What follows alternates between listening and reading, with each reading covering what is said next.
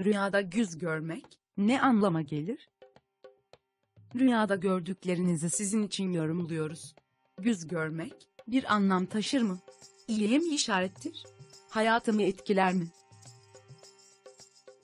Rüyada güz görmek. Güz kişinin umutlarının boşa çıkacağına işarettir. Devamını Rüya Tabirleri kitabı.com'da okumak için aşağıdaki bağlantıya linki tıklayın.